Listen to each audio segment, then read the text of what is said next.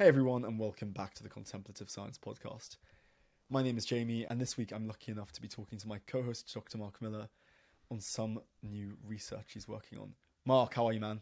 Howdy, howdy. Well, listen, you started off by saying some research I'm working on, and um, that we just have to appreciate that it's still quite nascent. So, what we're going to do today, I hope, is get super jazzed up uh, about some stuff that's in the works. Um, and it's a topic that I'm extremely passionate about, um, that I really believe in. Um, and uh, finally, it looks like we have the sort of pieces coming together where we might be able to do something a little bit more um, rigorous to um, check in and see if it's right and what the values will be. Yeah, awesome. So let's jump straight in. Um, we talk on this podcast quite often about danger and uncertainty. And the usual story we tell is brain doesn't like uncertainty. Brain doesn't like danger. And the initial response is to go something like, sweet, so we need less of it. Yeah, right. You're gonna tell you're gonna tell me today that's not fully the story. Yeah, it's nice. Good. Okay. So just before we jump forward, um, I know our listeners probably um, feel like they have like a, a degree by contact for thinking about anticipatory dynamics because that sort of pops up a lot. It's my research, and so it's sort of always um, filtering through when I'm talking about these topics that we talk about. But just that first point you said, like where um, we don't like uncertainty or the brain doesn't like uncertainty, and just to push that just a one step farther, um, if our sort of new developments in computational cognitive neuroscience are right, um, the brain just is built to manage uncertainty and potentially to reduce that uncertainty. So that might it might not only be a sort of proclivity. You know, it's not just that we're biased towards more certain environments, but rather you are built. You are of the you are of the nature of uh, uncertainty reduction. That's what you're built for. Um, and uh, so then it's an easy next step to say, well, if that's the case, then um, it should be the case that we're constantly avoiding uncertainty. We're constantly avoiding um, uncomfortability. We're trying to find a perfectly good um, fit with the environment, a perfectly good grip with the environment. Um, and yet that doesn't look like it's always the case, right? We tend towards we tend towards lots of things that don't look like they're very certain, and we're usually I mean, they can be very exciting things. Well, the interesting thing is like roller coasters or horror movies. Right. Things that no, no, moving to Mars, like push the limit, right? Moving to Mars is the big one. Um, I teach this quite a lot and when I'm in classes of young people, and I say, uh, I get to this point to say, look, you're an uncertainty. Potentially, the case is that you're an uncertainty minimizing machine. That's just what you are. That's what a life form is, actually. And then the next thing is, well, how does an uncertainty minimizing machine like us manage the kinds of environments that we're in? Um, how does it actually reduce uncertainty in the environment? That's a complex story. Um, but I always push back with this puzzle. Like, then it looks like we should try to always be reducing uncertainty. And yet we tend towards lots of uncertainty. And I say, well, look, give me a show of hands. Who here, if given the chance, would go colonize Mars? And I've never had a room where not one person put up their hands with, uh, you know, quite a bit of gusto. Um, and in my most recent uh, um, class that I taught this, uh, 30% of the class put their hands up and said they were determined that if there was a chance for them to be the first colonists of Mars. Now that's maximally uncertain. That's a different planet, different food, different. I mean, that's different everything. Um, that's is probably as as wildly uncertain as we could possibly get, and yet lots of people are jazzed up about it. Right, so that's on the extreme end, and then Right. as you go down the gradation, you get seventy-five percent of people like roller coasters or horror movies or whatever. Horror movies, yeah. Or even, you know, it's funny because just on the uncertainty model, the perfect holiday should be lying on the beach, but people want to do adventures and they want to just, even in that subtle way, take on that uncertainty. So the question I have for you is, how do you square the circle between people's lived evidence of wanting uncertainty and this idea that the brain is not only a proclivity to reducing uncertainty, but might be built that way as well? Good. So here's the here's the magic here's the magic ingredient. Um, we have a temporally long uh, model of how things work in the world. Okay, so that just means we care not only about making it work right now, but about making it work in the long run. Of course, it's one of the things that we're good at. So you know, mind wandering forward and mind wandering backwards even you know in the contemplative traditions maybe we can come back to this as well which i think is so interesting in the contemplative tradition it can sound like we're supposed to curtail those dynamics. But in fact it's those dynamics that actually make us um, really adaptive to the kind of niche we're in. We are long-term prediction machines. And what we're trying to do is we're trying to re- reduce uncertainty over our whole lifetime. And it turns out that if you want to be really good at reducing uncertainty over a long period of time, it behooves you to hang out with a good amount of uncertainty right now for a couple of reasons. One, because if you hang out in uncertainty, you are going to tend to be growing new skills and developing new abilities because you're hanging out in situations you're not used to. So if you're hanging out in things you're not used to, you're growing. And it turns out that the kind of thing that's good at reducing uncertainty over a long time is the kind of system that grows and develops and builds new skills and new abilities and finds new ways of relating to the environment. So, in other words, if you really are optimizing for quote unquote certainty, you actually need to have your dose of uncertainty. It's like Yeah. in the same in the same way, you know, parents, I don't know if this is right or not, but they have this idea that you like let kids get a little like get in the mud and get a bit ill and because it actually helps builds them up in the long run. That's good, right? So the one is, and then that's a that's a great that's a perfect example. The, so the one is is that when you hang out in places you're not completely familiar with, you develop more skills and abilities. Now, over the long run, you're going to encounter a bunch of uncertainty you don't know what to do with, and human agents that have lots of skills and abilities turn out to be the ones that are going to be best set up to manage those kinds of black swan uncertainty situations when they come. So, for instance, during COVID, you know, there was some fear about there being a break in the food chain. Um, and the humans who fared best in that sort of sudden and unexpected uncertainty were the ones who knew a little bit about gardening, knew a little bit about cultivation of food, knew a little bit about cooking, knew a little bit about community resourcing. I mean, if you have a couple of those things in play, you are a more resilient system when you meet an uncertain kind of uncertainty. Okay, so that's just one though. Let me give you the other one. So one is if you hang out on certain things, you build some skills. The other thing that happens is, is if you hang out in a little bit of uncertainty, is you are also checking a little bit to see whether or not the things that you are taking currently to be certain are actually as best that's the best view or the best belief network that you could have in play. So if you so think you're trying to predict how the world is. That's what the brain is set up to do potentially okay? And it, to do that it has to it has to start making some predictions about how it works. And we can have better and worse predictions.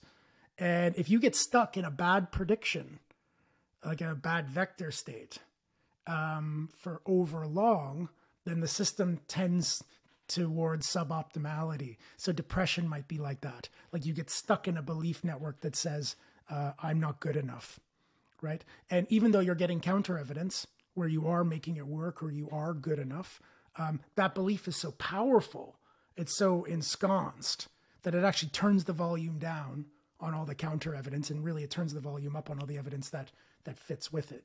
So what a good predictive system will have is it will occasionally blow up its own belief networks to some degree to check to see are there other kinds of believing that are actually better for me. So you know get stuck in a flat earther realm. Um, it would behoove you to occasionally push against that belief network to see whether or not there is actually a better collection of beliefs that are more adaptive. But that requires you to actually move through you know you have to actually move through uncertainty in order for that to happen right Right, so in other words, the most effective way to really get you certainty is to just check in and make sure that the current set of beliefs that are providing stability are right. Yeah. It's like yeah it's like before you anchor down or every week with the anchor down, you just go have a little bit of a look under the boat. Yeah and because it's a moving target because as you build new skills and abilities you're better able to adapt then you're always going to want a little bit of this like tolerance of uncertainty. And that's sort of the big thing that we're starting to we're starting to look at in relationship to well-being. So maybe we can we can pull it back to the contemplative training here is there's a real space and a real value for um, finding healthy uncertainty to get involved with and to start generating some tolerance of uncertainty. So, an uncertainty minimizing system actually works really well if you build up a little bit of its uncertainty tolerance. Um, so, if you're stuck in a bad belief network, uh, let's say flat earthing, and um, one of the things that might prevent you from bumping out of that and uh, getting a better set of beliefs is that you just don't want to face the uncertainty of losing your community or of changing your belief sets or of reading new things. That's all a little bit un, that's going to be uncertain. You're not going to know how it's going to go. You're not going to you're not sure who you'll be next. And if you have a really high intolerance to uncertainty, that might just be enough to keep you um, curtailed in that bad belief network, even if it's not serving you, even if it's producing suboptimal outcomes. The other the other tension here, I guess, is when you're thinking about the contemplative path.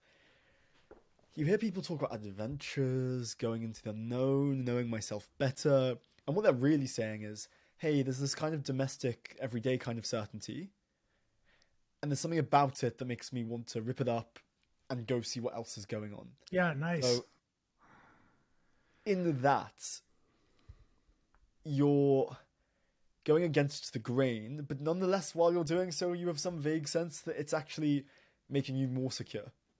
Yeah, that's good. Okay, so um, one of the ways one of the ways that we can use a meditation program, and really any meditation program, I think, does this to some degree, is we can use it to just like you say, um, become uh, uh, more welcoming of investigating our own beliefs and more welcoming of the opportunities to have those beliefs be changed, especially in favor of better beliefs. And in a good meditation program, it's set up um, sequentially and progressively so that you can test along the way if this kind of um, you know updating of your beliefs is useful or not. So, for instance, you do um, an empathic joy from the Buddhist tradition is such a good example here. Okay, so empathic in an empathic joy practice, you look at other people's successes, um, especially their spiritual successes. Like you see people really making their practice work, or developing virtue, or um, you know coming to find refuge in um, in uh, a different sort of way of relating to the world. And then the whole the whole play in the practice is you feel good about their success okay and now this is meant to this is meant to counteract all the sort of jealousy stuff that we get in the world normally where we look at and we go comparing mind stuff you know oh they have that and i don't have that and so your successes burn me up you're trying to flip that right so there's an example where you have a belief and the belief the sort of latent er belief is if other people are succeeding uh, faster than me then that should signal a security system to up my cortisol and adrenaline stressors because I'm obviously not doing well enough. Um, the sort of zero sum mentality, like your success uh, also equals me not succeeding. And you're trying to update that belief system because for lots of things, that's not the case, you know, or we're comparing things that don't matter you know, you look at somebody who has great hair and you're like, oh my goodness, they have great hair. And you're like, actually, maybe you should update that because who cares? who cares who has good hair? Okay. So that's well, there's one thing. So when you update that, when you can update that belief a little and you can start getting into like, no, it's cool for other people to succeed in, especially in non-zero sum activities where everybody can have more. Um, it's cool to have other people succeed. And i actually feel good when you succeed then you can test that along the way and see actually no i'm i'm better now because i've updated my belief about how other people's successes relate to me. And that can come drips and drabs. So you're not doing something radical. You're changing things on the way and then you're seeing the positive feedback that comes all all you need all you need is is that the system is really good at monitoring how efficiently it's managing volatility in the environment and um, updating your beliefs in some of these ways will signal to the system massive updates in efficiency. So, for instance, if every time I look out into the world and I see somebody who is thinner or stronger or taller than me, I feel bad. Okay. So, so my status quo at the beginning of the program is that I have a lot of comparing mind stuff and I'm getting a lot of error signals every time I look out into the world where I see somebody else who's, let's say, just, you know, has these sort of superficial features that are different than mine. Okay. And then think about the update that happens if you could change around the belief networks through a progressive training program such that when you see other people succeeding in the world, when you see them having qualities or characteristics that we suspect make their lives feel nice, make them feel good about themselves, especially spiritual qualities where now they're like really getting the right relationship with their life and with their suffering and with their happiness, then we feel good about that rather than bad. That is a massive update in the amount of error that we're having to manage. We don't have all of those little comparing errors anymore. Rather, looking out and seeing people succeed is giving us is giving us signals that things are really going well in the world rather than things are going poorly. Um, that is, I mean, that is exactly the kind of thing our system should uh, sort of evolve to really um, perk up and pay attention to, because that's that's a single that's a single kind of change. That belief network gets jostled a bit, and you have an invariant change. Uh, you have a change across your invariant structures, meaning you have what looks like one belief update actually manages a ton of different kinds of errors.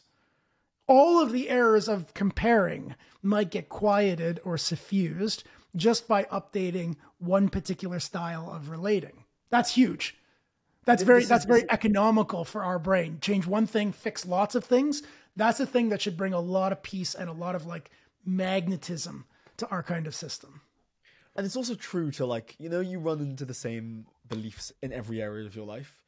Like, I don't know if you've had this experience where you're like out for a drink with someone, or then you're on work the next day, and it's like two different like negative emotions. You'd think, but then you stop and think about it, and it's like, oh, it's it's coming from the same. Yeah, we're not very creative. We only have so many good things and so many bad things, and so um, I mean that's really what the genius of a lot of these contemplative programs is. I mean, they've been built over a long time and they're useful for a large a large cut of the population probably. And that's because they really get down to some of the essential the essential little belief networks that might be causing some of the problems. But i want to just i want to just task switch here to something that i think is a little bit more radical and i think more interesting also um, we talk a lot in the contemplative science community about um, the meditative process. And usually, what we mean is attention training or the relationship between attention and awareness.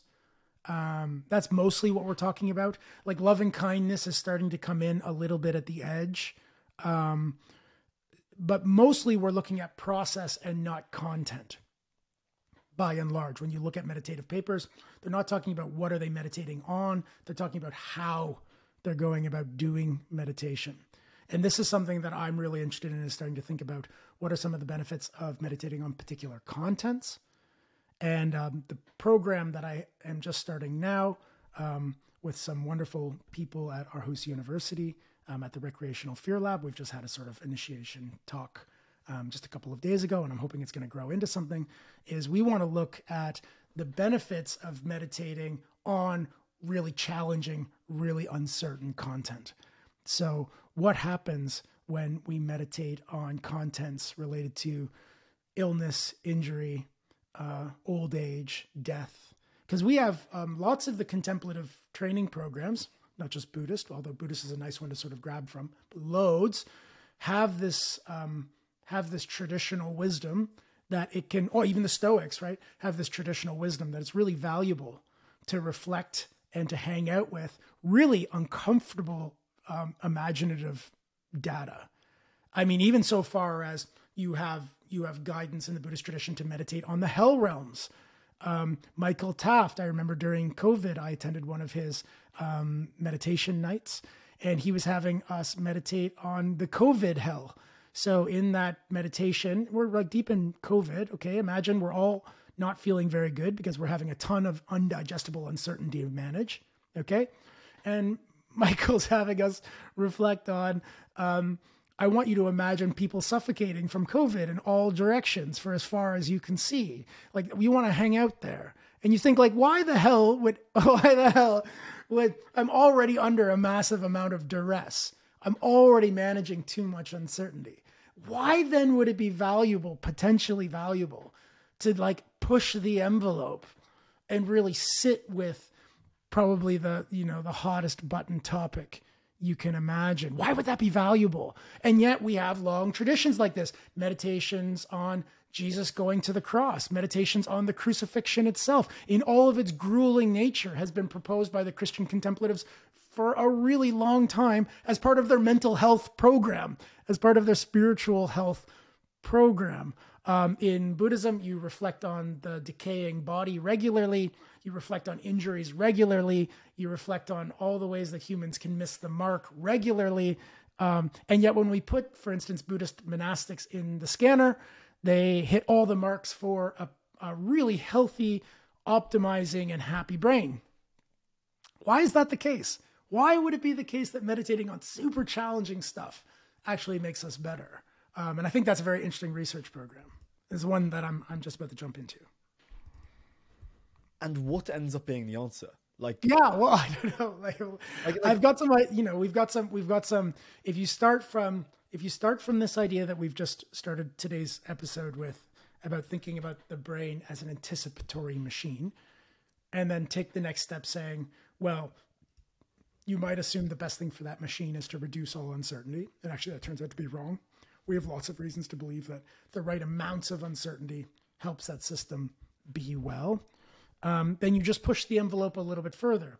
What we want to look at is um, what sorts of uncertainties in particular are the ones that are going to be sort of maximally valuable for us to be healthy in the ways uh, that we'd like to be.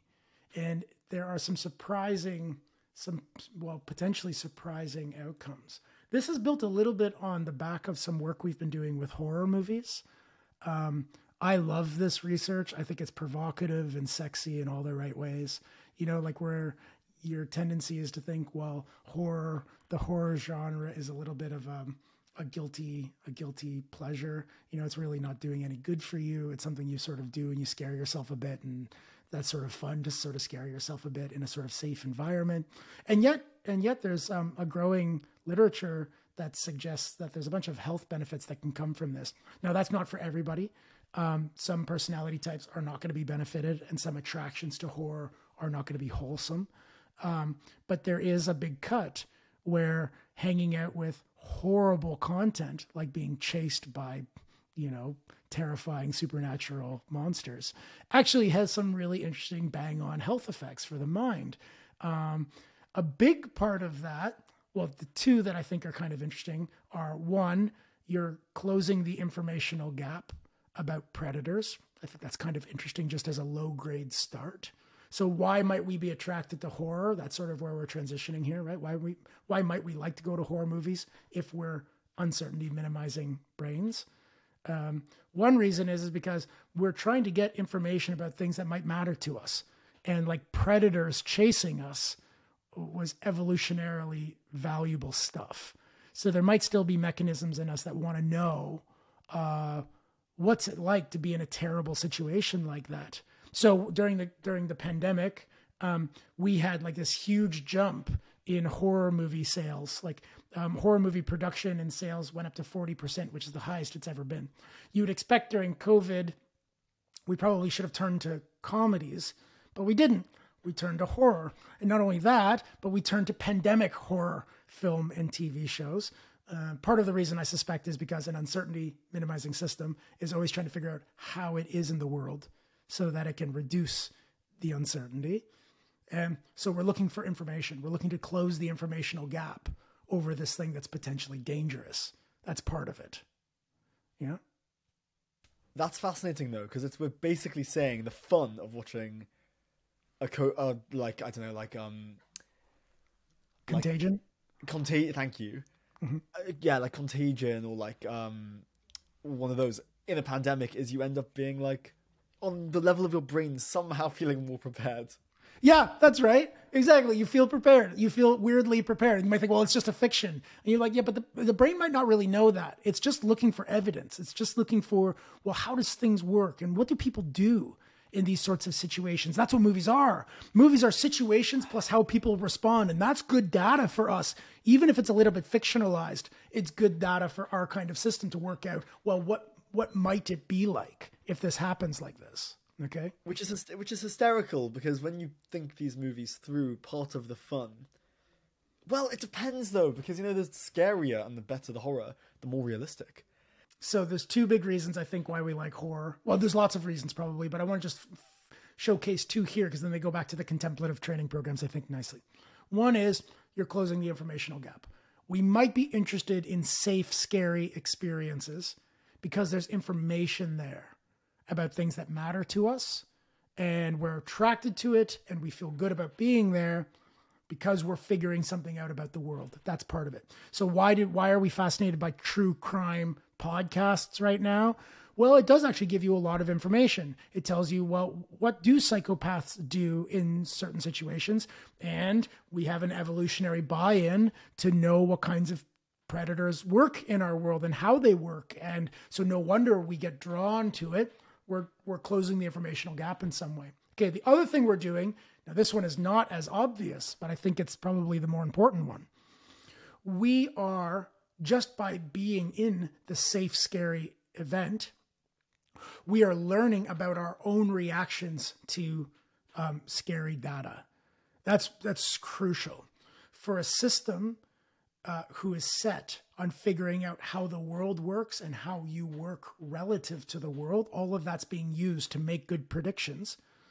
A central component of that is figuring out how you respond when you encounter certain things.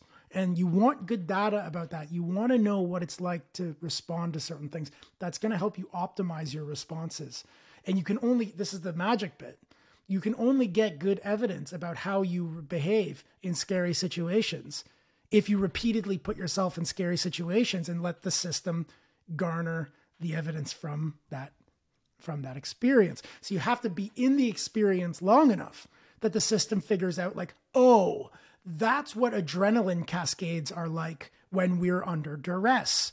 And the more that it knows about its own scary reactivity, the better able it is to manage that reactivity. I'll just give you one quick example, okay?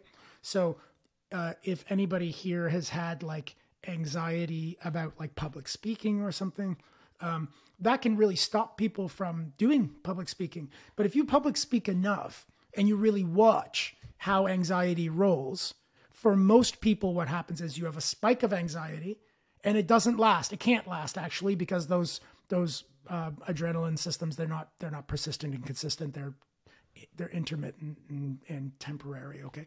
So what you end up having is you have a lot of anxiety and then more or less as soon as you start talking it subsides because the system moves on to something else. So you have this natural arc of anxiety okay?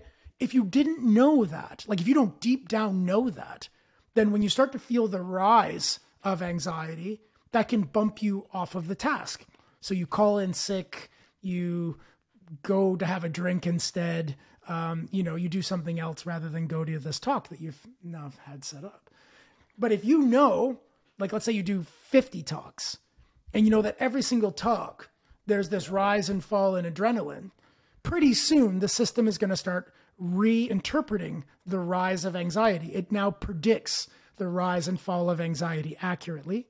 And so the rise of that uncertainty is no longer newsworthy uncertainty it's like, yeah, yeah, yeah. I get uncomfortable when I'm going to talk, but it always goes away. It always goes away as soon as I get into it. And so it's not something that needs to be directing my behaviors. It's now it's now expected uncertainty. It's certain uncertainty rather than uncertain uncertainty. And how does that feel in the body relative to unexpected uncertainty?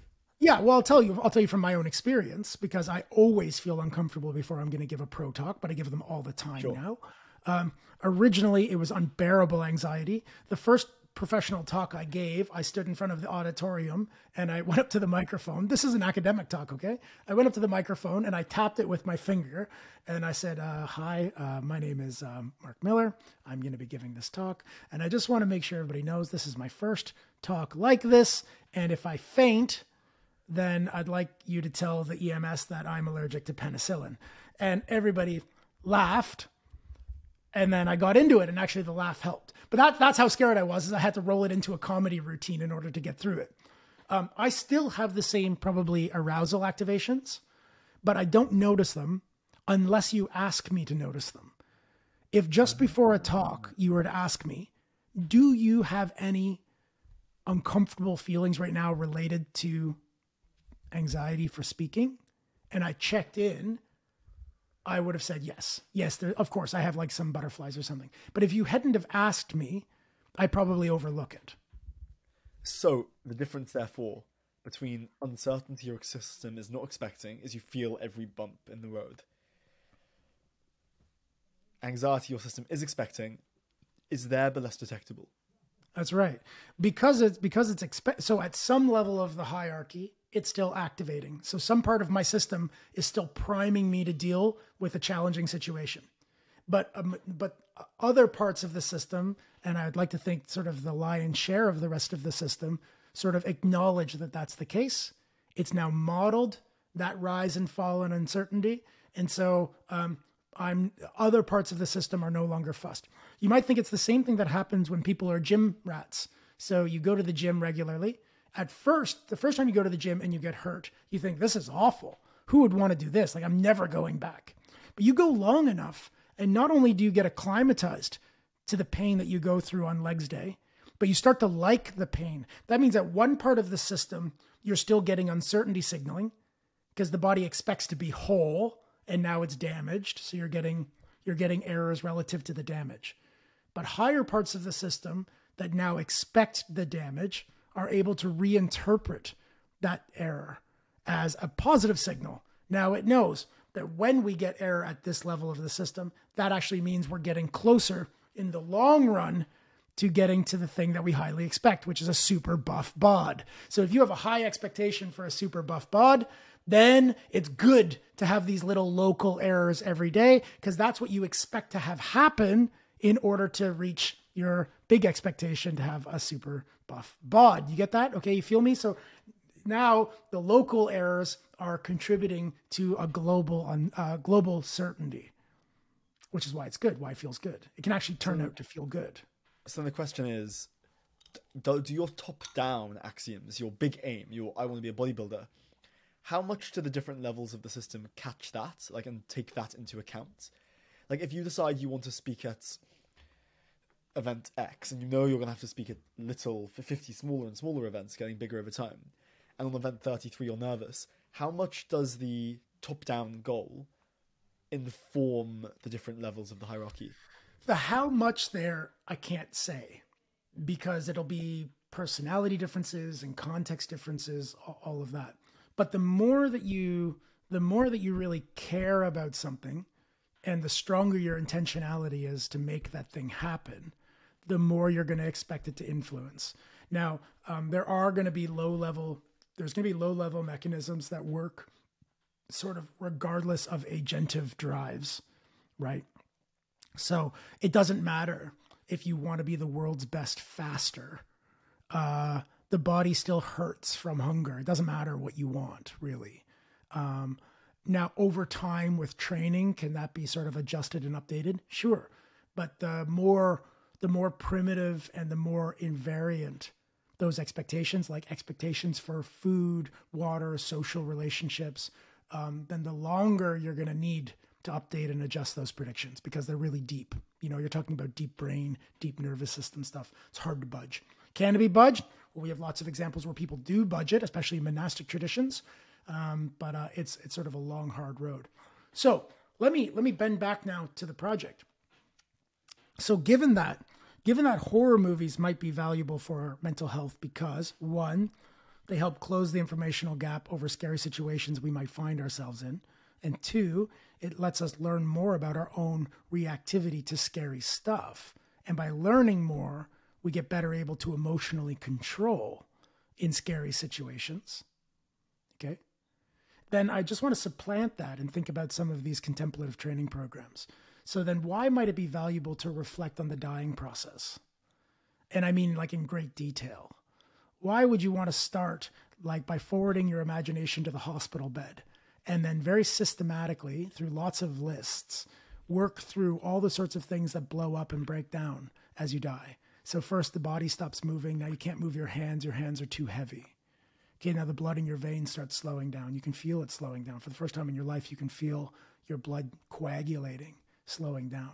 And your eyes dry up. Now, even the water in your eyes, that begins to dry up. Now your breath comes shorter. Now, this is a super fast one I'm giving right now, but imagine you, you take hours to do this, okay?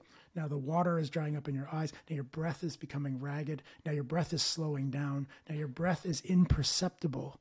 Now the breath falls out and your vision starts occluding, clouding, darkening.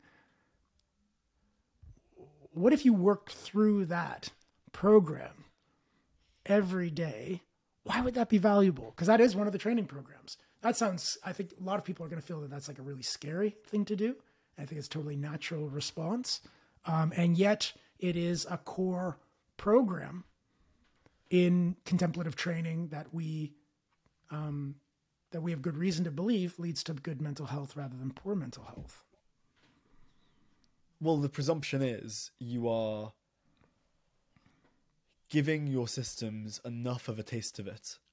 You are give, you are inserting the uncertain the uncertainty. You are such that at the different levels of the hierarchy, especially the more superficial ones, you're starting to turn what that event means. So initially yeah. it meant chaos. But now, yeah. if I'm more familiar with it, it means something that I'm used to. Yeah, good, right? So, first one, close informational gap, I think is so interesting here. So, um, I went through a bout at the end of my PhD. So, anybody who's done a PhD will know it nearly kills you. It doesn't matter how good your experience is, but it's a really hard thing to do. You know, it's a lot of uncertainty to manage over over a long period of time. And I started having some like anxiety, nervous system, bio behavioral stuff happen. Um, I felt mentally well, but my system was definitely under pressure. And a weird outcome of that was I started getting um, afraid of flying just out of nowhere. I flew my whole life. I've traveled lots, and suddenly I couldn't stomach. I couldn't stomach turbulence, like really bad you know, where I'm sick to my stomach every 10 minutes on the flight or something. Like it's real, real bad. And you know what worked? You know what actually made it better? This is really interesting. I started practicing every day, uh, like a formal meditative practice. I would imagine over and over and over again for blocks of time every day, driving to the airport, waiting in line, getting on the flight, the flight taking off, there being turbulence. And then I always imagine sometimes it's steady, sometimes it's really turbulent. Of course, then it becomes steady again, and then it's really turbulent, then it's steady again. And then the flight comes down, turbulence on the way down, land safely. I get out, get in a cab, get to my destination, start again. And I just did that over and over and over and over again. And I didn't feel like I got any particular insight on the mat. It's not like on the mat I suddenly was like, oh, wow, it's just like that. Look, sometimes there's turbulence, sometimes there's not. Oh, I've I've got it. Now I can relax. It wasn't like that at all. It really did just feel like work, like meditative work. And yet, almost in no time, I'm flying again now with ease, sleeping the whole flight. Um, so, anecdotally, what I think actually took place there was my system was bucking because it was suddenly very sensitive to a kind of uncertainty that happens when you fly. And in order to help my system better manage that uncertainty, I imaginatively, so this is a content discussion about meditation, I worked through that process enough that enough of the subsystems in me got a handle on what the what the program was going to be like. And so then it moved from uncertain uncertainty to certain uncertainty. I was sure there's going to be turbulence, and yet it's manageable turbulence. It always comes and goes, comes and goes, comes and goes, and I land. Yeah.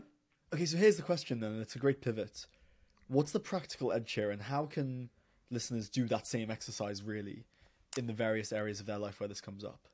Yeah, well, I think death is such a good one. I mean, if we want to take a, a nip of the hard stuff, um, uh, ideally in a in a training program like this, you might start with the easy stuff like having a cold.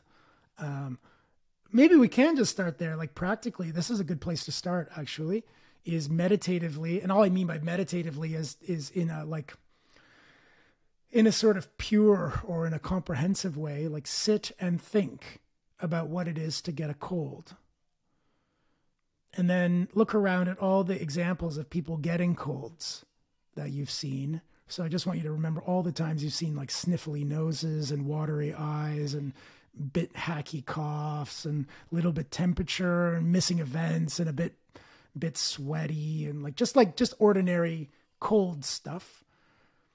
And then you can you can ask yourself is this uh is this a natural or an unnatural state? That can help. Is this a natural and unnatural state? Being sick.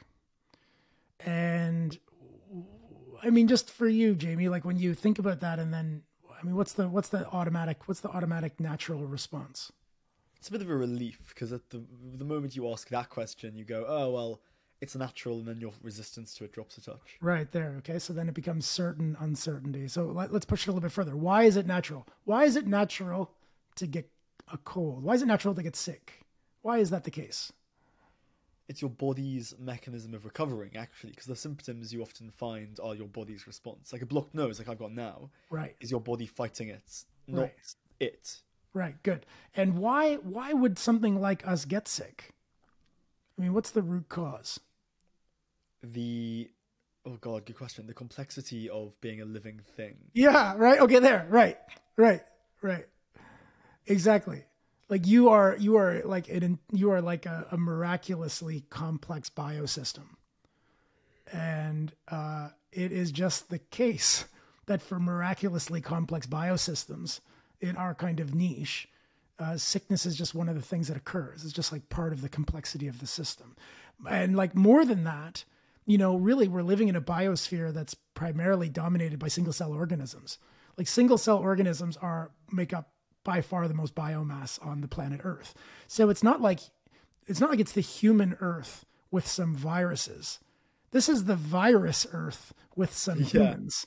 Okay. Yeah. So it's not surprising that we get sick. Like it's not a surprising thing that we get sick and even get very sick. Um, it would be it would be very very surprising that that doesn't happen because it's very rote. It's very normal and natural here. So working through imaginatively the process of getting sick and at the same time allowing yourself to acknowledge that that process is really really ordinary that's really really uh, it's not it doesn't count as an uncertain state. Yes the body has like local uncertainties but actually this isn't an uncertain state at all. Now if you never really do that if you don't really encounter enough sickness then it will always be a little bit surprising which means the system will always buck the uncertainty because it doesn't really know, just like the anxiety um, uh, scale. If you don't get enough anxieties up and downs, then you never really learn that it's okay to have a little bit of anxiety because it always goes down. It, my wife has like a monster immune system. She's rarely been sick in her whole life. So if she gets a cold, she becomes the biggest baby. It's like she's dying. It's like it's like like it's that kind of a drama. You know, like it is really a terrible, horrible, unmanageable thing to have a cold. I, on the other hand, who was born basically having an asthma attack, have been in and out of the hospital so many times that if I get a cold, I'm like, yes, it's a day of watching TV on the couch where I don't have to do any work and I have a perfectly good reason not to do that. I enjoy days where I get sick. That's the difference between two predictive systems, one in which it's uncertain uncertainty, and the other in which I've gotten enough data points that it's now certain uncertainty. Unfortunately, wait, fortunately, we can get that usually for sickness, but we can also help it along contemplatively.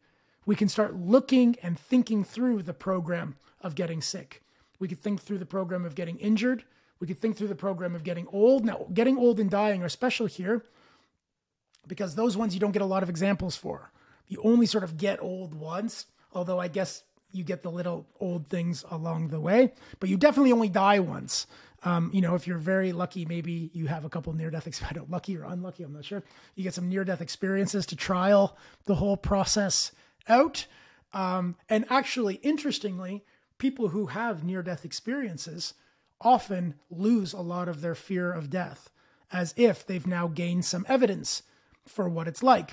And as soon as it's certain uncertainty, um, they become better able to manage and digest and approach and um, so relate to this terrible so uncertainty. Words, so, in other words, there are some things if you get ill semi regularly that you'll just bump into and get your information gap closed just through life. Right. But there's others like dying where you have to help yourself along. Right. Right. Right. Where you could help yourself along. And lo and behold, we have training programs that are built just to do that. So, um, uh, a traditional death meditation um, that I've done for a number of years, very easy one that we could just share here in case anybody's interested in trialing it. Uh, it's very interesting. It's three questions. That's it. You just sit and you close your eyes and you think through these three questions and you answer them honestly, as honestly as you can. Okay, the first question is Will you die? And the answer has to come back yes. And you just hang out. You hang out with the reaction. You use your contemplative training that you have so far so that you can just stay cool. And you just ask yourself a few times just so that you can help the system turn towards, start turning towards something that is true, not morbid, but just true. Will I die? Yes. When will I die? And the answer is you can't know. It's impossible to know. Really, any time is uh, any time is acceptable for death. Yeah, very young people die, medium aged people die, very very old people die. Um, it comes when it comes. There's no way you can know and you sit with that and you let the system sort of update relative to that truth. And the last one is you mentally project yourself to the end uh, and you watch those last moments of life from the inside. And just at the turning point, you stop and you ask yourself, what will have mattered in this life at this moment? So you're way up on this high wall of death and you're looking back over the topography of your life and you ask yourself, what what will have mattered? Um, and uh, a lot of wisdom, a lot of wisdom can be garnered from that high point. Just what's your intuition, Jamie? Even just sort of like I know, just closed your eyes here just for a second. What's your intuition there? What will really matter at the last sort of turn? The thing that jumps out at me intuitively mm. is like, did I spend time doing stuff I liked doing and wanted to yeah, do? right. And the stuff that seems less relevant, and I know this sounds like a cliche, but it's a cliche for a reason. Yeah. Is all the panicky insecurities you have of what people might think about the activity yeah. or the thing. What will that matter at the end? What would it matter? What would that have possibly mattered? That somebody thought your like obsession with skiing was silly. Like who who what does that matter? That wouldn't matter at, at all, right? Uh, but would your mortgage matter or your your no. debt, to, debt, to, wealth ratio or how many Ferraris you've owned. Like, I mean, I, I don't know if those things would really matter. What about, what about time with family or um, the amount of like love you've experienced or that you've had real connections that were meaningful? And that's what people come back with usually from this high edge is they come back with, wow, my family mattered. My friends mattered. Being a good person sounds like it might matter, like doing something good for the world so that you can leave it a little bit better than when you got here, that stuff turns out to really be the meaningful stuff. Now, there's such an interesting thing. We're turning towards something really challenging, but by doing it, we're learning something about how our lives should be structured. And that's the radical gift. That's the radical gift of meditating on this radical uncertainty is that you come back to learning how to manage day to day volatility in new and better, more insightful, more wise, more compassionate ways.